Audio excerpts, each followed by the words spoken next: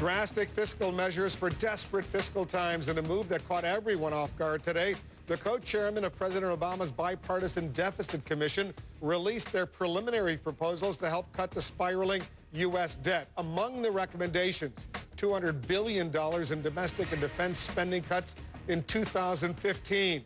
Social Security changes, including gradually raising the retirement age to 69 and reducing benefits to wealthy retirees and major overhaul of the tax code, all designed to cut $4 trillion from the U.S. deficit by the year 2022. These proposals and more will be put to a vote by the 18-member panel next month. 14 votes are needed to send the recommendations on to Congress, which would also need to approve them. The White House says it will let the commission finish its work before commenting, but the outgoing House Speaker Nancy Pelosi is not waiting. She's just released a statement calling the proposals, and I'm quoting her now, simply unacceptable. Let's bring in our senior congressional correspondent, Dana Bash. Uh, Dana, lots of reaction immediately. Why does uh, the speaker, the outgoing speaker, say it's simply unacceptable? Well, the Democrats are saying that. They're saying it's draconian. And then on the other hand, you have Republicans who, very interestingly, are a lot more circumspect and cautious uh, because they, of course, campaigned on the idea, uh, for the most part, of reducing the deficit. Um, but, you know, the mixed reviews also came from inside this commission. And that is significant because, as you mentioned, the proposal is guaranteed a House and Senate vote only, only if 14 out of 18 members approve it. But, you know, the commission chairs, uh, co-chairs who put this proposal out today, they said they knew it would be controversial. And they wanted to put something down on paper that is, in their words, serious and significant and said it's really as much about starting a national debate about how to reduce the deficit as anything else. This is the first time in my memory of Washington, either active or whatever this situation is now, that it's all there. We have harpooned every whale in the ocean and some of the minnows.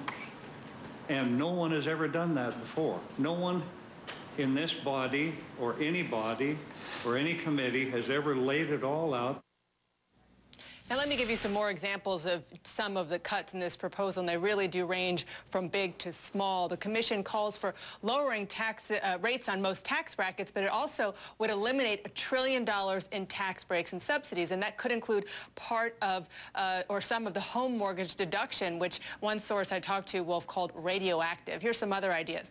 Cut a third of U.S. overseas mil uh, military bases, cutting the federal workforce 10% by 2015, and even forcing the Smithsonian, which is now free to people going in, uh, force them to charge people. So that gives you a sense, and there's much, much more of what they're talking about to get to where they want to get, which is $4 trillion to add to, to take away from the deficit, I should say. Some are suggesting, Dana, that these proposals on Social Security are, are particularly explosive. Tell our viewers why.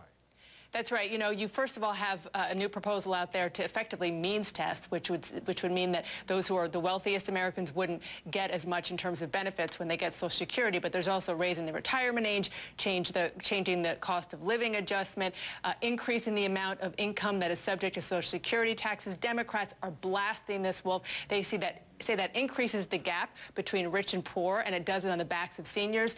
I think the AFL-CIO was probably the most blunt, and the message that they sent was that this commission is telling working families, drop dead. Wow. All right, uh, Dana, thanks very much. Let's uh, dig deeper right now in these new proposals to try to cut the deficit and deal with the national debt. We're joined by Democratic Congresswoman Jan Schakowsky of Illinois, along with our senior political analyst Gloria Borger and David Gergen. Uh, Congresswoman, let me start with you. Uh, you hate these proposals, and, and you're a member of this commission. Why? Well, I'm a member of the commission. We were told from the beginning that nothing would be done to Social Security that would affect current beneficiaries.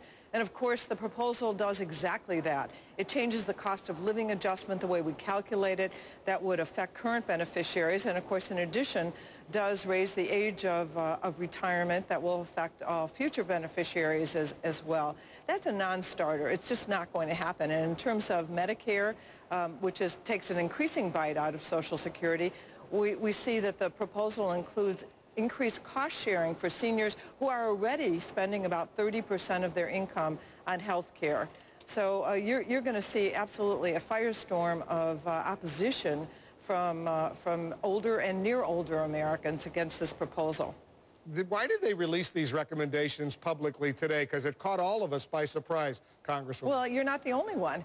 We went into the meeting today thinking that this was going to be a uh, the, the, chair, the, the co-chair's proposal, um, and that's what we got.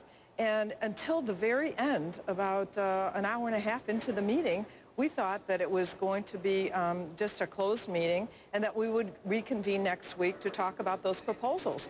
All of a sudden, it was suggested that why don't they release it publicly, and sure enough, a 1 o'clock press uh, conference was called, and that was that. I, uh, I objected to that, but uh, here we are. So we were surprised as well.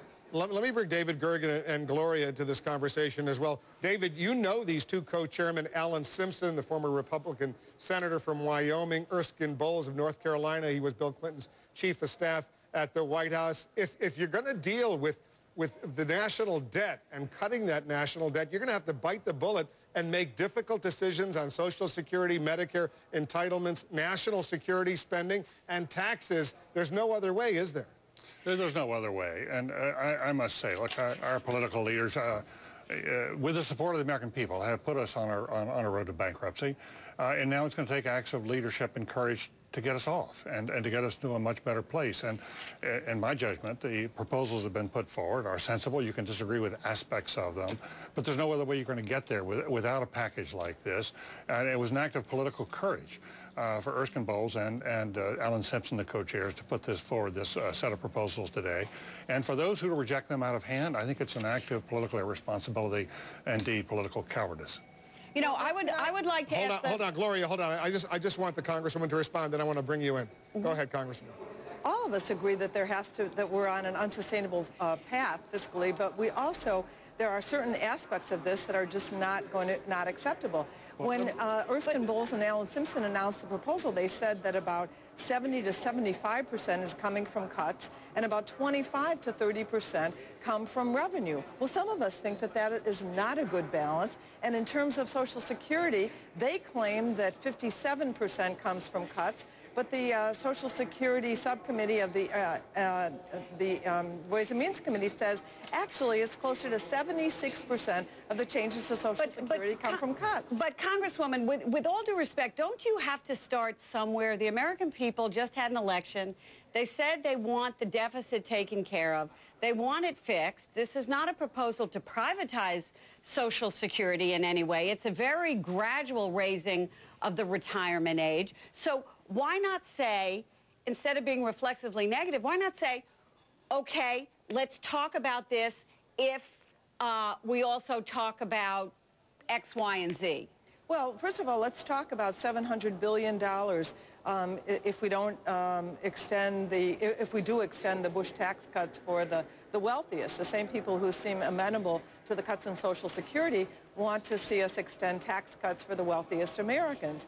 Um, we are concerned that for older Americans who have an average income of about $18,000 a year, and, and by the way... But there's a safety net in this. There is a safety net in this for, for the poorest on Social Security in, this, in, in the chairman's mark. Uh, again, the committee um, staff of the Social Security Subcommittee says that, in fact, it will increase poverty, not decrease poverty, because the qualifications for getting that uh, benefit, that increased benefit. Is, look, we, of course we need to discuss this, and of course we need to make cuts. There are cuts we agree on, and I think that we may come up with an agreement, uh, maybe not a, a, totally comprehensive one by December 1st. I agree with that. We should go with that.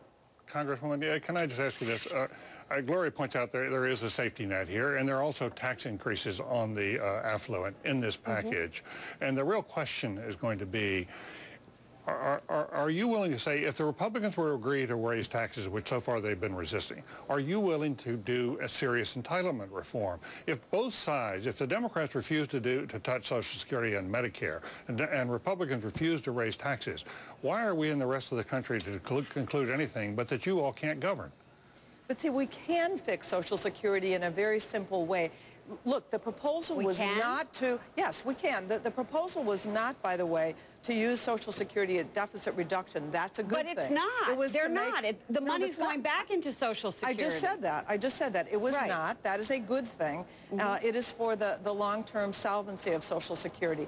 But to do it 76% from benefit cuts, Uh, no, I, that is not acceptable, and we need to take a different look at it. Uh, Congresswoman, you know these 18 commissioners. You're one of them. Uh, you need 14 in order to send this, these recommendations to the House and the Senate uh, for, as legislation. Do you think 14 members, a supermajority, will agree on a package to send to Congress? The question is how, how, how, how comprehensive that package will be. I think there are a number of things we can agree on. For example, there is a large consensus around um, de defense cuts. There's, there is a consensus around some of the tax expenditures, which are just the same thing. Those are tax breaks that What- are the what- same things as spending. What, What, cut- what, what tax What- expenditures are you willing to agree on? right. I, I- I think that we could agree on taking a look at the, um, what, how much, uh, the value of a home that gets exempted from, uh, from any kind of uh, taxes. We could mor- you look mean at. mortgage, The mortgage dedu- deduction? mortgage interest deduction? Not, but not, but not to eliminate the mortgage interest reduction. I think that is a non-starter But, but Congresswoman, most of these Republicans and a lot of Democrats say no new taxes. They will resist anything that feels like taxes are going up. Well, I'll tell you what, you have to talk to the Republicans about that, and that agrees, by, that includes, by the way, their resistance to uh, the top 2% getting taxed uh, right now, and, extend, and they want to uh, extend the, uh, the Bush tax cuts. But, you know, Yeah. the Republicans have not come out and said, we don't like X, Y, and Z. They have, they have held their fire. So I guess my question is, why not hold your fire until you meet as a committee and perhaps can try, a commission, and try and present something to the United States Congress? Well, I think uh, certainly we're going to come up with a proposal, and I believe that we can come up with a proposal that reaches the $250 billion mark by, uh, by 2015. But I think it is important to lay some ground rules that um, Social Security and Medicare, certainly as proposed um, by the, the two co-chairmen, is just not going to hold, that it's a non-starter for, uh, for many of us. Jan Schakowsky is the Congresswoman from Illinois. Uh, Congresswoman, thanks very much for coming in. We'll continue this conversation. I look forward to it. And thanks to Gloria and David as usual as well. Uh, having babies